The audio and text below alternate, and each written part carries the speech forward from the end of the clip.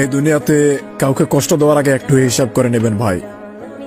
কারণ যে যাকে যতটুকু কষ্ট দে পরবর্তীতে তার চেয়ে বেশি কষ্ট কিন্তু সেই পায়।